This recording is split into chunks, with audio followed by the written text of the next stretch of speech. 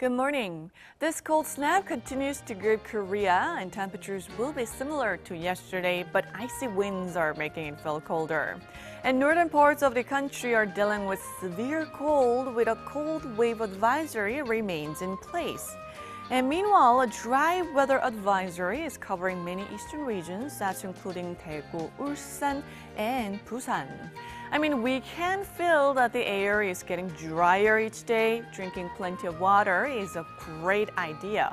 And these tips should also help us tackle dry winter skin, so keep them in mind.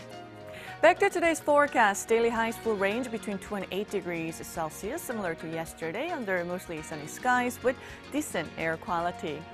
The cold will ease from tomorrow afternoon, and we can expect milder conditions this weekend, but snow is in the forecast for Sunday in the central parts of the country.